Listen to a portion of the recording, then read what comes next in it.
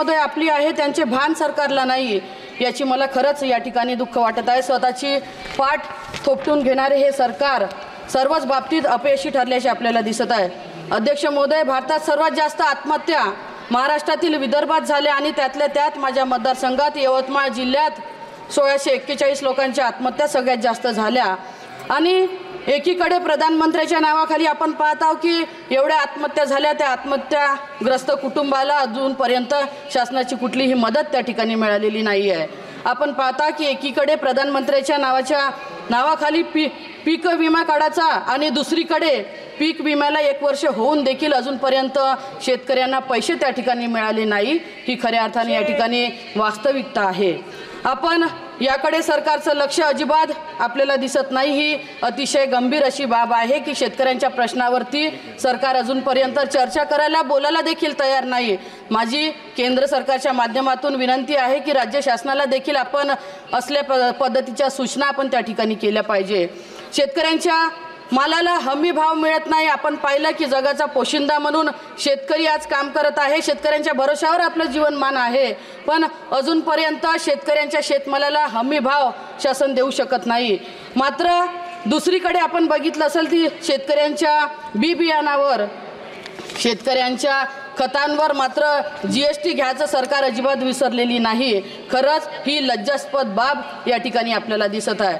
अध्यक्ष महोदय आता आपण एकीकडे बघितलं असेल पावसाळा आहे. सगळीकडे पूर परिस्थिती आहे. माझ्या मतदारसंघात देखील अनेक गावात तलावफुटीचे प्रकार झाले. त्यातल्या त्या चिचपली आणि पिंपळखुटसारख्या गावात पूर्ण घरं पाण्याखाली आहे. अशा वेळेस देखील शासन म्हणून आपली जबाबदारी स्वीकारत असताना कुठलीही मदत अशा लोकांपर्यंत आपल्या माध्यमातून पोचलेली नाही. नीटसारख्या परीक्षामध्ये पेपरफुटीचे प्रकार घडत असल्याने भविष्यात अनेक Munnabhai M B B S या ठिकाणी तयार होताना आपल्याला दिसत आहे. माननीय अध्यक्ष महोदय Munnabhai M B B S सोबतच मुन्नाभाई आय एस देखील या ठिकाणी तयार होताना या सरकारच्या काळात महाराष्ट्राच्या मनात एक प्रकारची भीती आता या ठिकाणी निर्माण झाली आहे. अध्यक्ष महोदय जुन्या पेन्शनचा अतिशय महत्त्वाचा विषय हा राज्यात होता. राज्य शासनाने आम्हाला कमिट केलं होतं की जसं भाजपचं सरकार राज्यात येईल आम्ही जुनी पेन्शन योजना त्या ठिकाणी लागू करू. पण दोन हजार पाचपासूनचे जे शिक्षक असतील शिक्षकोत्तर कर्मचारी आहे आता दोन वर्ष झाले त्या ठिकाणी तीन चाकाचं सरकार महाराष्ट्रात अस्तित्वात आलं पण अजूनपर्यंत जुनी पेन्शन योजना ही लागू केली नाही. आम्ही आग्रही होतो की आपण सत्ता आल्यानंतर किमान त्या ठिकाणी जुनी पेन्शन योजना ही लागू केली पाहिजे. पण कुठंतरी अजूनही भाजपच्या सरकारच्या माध्यमातून त्यांनी दिलेला शब्द अजूनपर्यंत पाडलेला नाही आहे मागील दहा वर्षाच्या काळात एकही व्यक्ती सुखी नाही. आपण बघितलं असेल युवक असेल युवकांना दोन कोटी रोजगार देणारे हे अपयशी सरकार. अध्यक्ष महोदय मी पहिल्यांदा भाषण या ठिकाणी करत आहे दो मिनट दीजिए मैडम अपयशी सरकार युवकांना दोन कोटी रोजगार देण्यासाठी मागील दहा वर्षाच्या काळात आजवर आपण बघितलं असेल की एकही युवकांना या ठिकाणी रोजगार मिळालेला नाही आहे आरक्षणाच्या बाबतीत आपण बघितलं असेल की जातनीय जनगणना महाराष्ट्रात अजूनपर्यंत झाली नाही.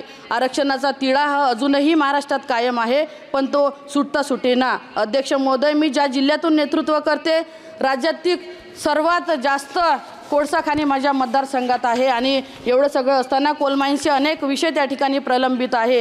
ज्या शेतकऱ्यांनी जमिनी आपल्या कोलमाईन्ससाठी दिल्या अजूनपर्यंत पाहिजे त्याचा योग्य मोबदला लोकांना त्या ठिकाणी मिळत नाही आहे आणि हे सगळं असताना आपण पाहिलं की देशांच्या महिलांवर होणारे अत्याचार यावर सरकार एकही शब्द बोलायला तयार नाही आहे खोटं बोलावं पण रेटून बोलावं ही सरकारची जी भावना आहे ते अतिशय चुकीची आहे. या ठिकाणी आपण मणिपूरचा विषय जर घेतला तर ज्या सैनिकांनी देशांची सेवा केली. देशाच्या सेवा करत असताना त्यांनी आपलं अख्खं आयुष्य घालवलं. त्या अधिकाऱ्यांना देखील या ठिकाणी स्टेटमेंट केलं. की. मी स्वतःच्या मॅडम दोनच मिनटं फक्त.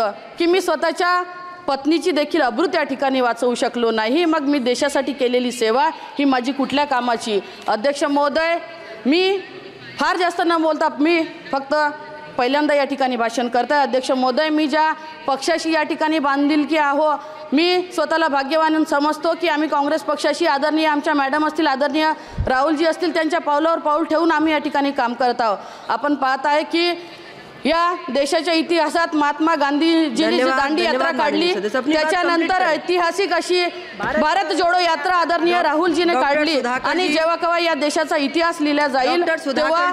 भारत जोडो यात्रेचा नक्कीच उल्लेख त्या ठिकाणी केला जाईल अध्यक्ष Thank you, Speaker, madam. Thank you, Speaker, madam, for giving me an opportunity to speak on uh, the budget, union budget.